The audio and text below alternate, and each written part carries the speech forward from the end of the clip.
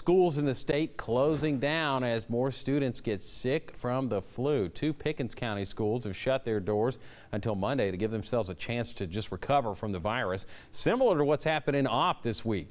Teachers and staff members working to sterilize every locked floor and desk to make sure all traces of the flu are gone. In Pickens High School alone, 70 students went home with flu-like symptoms.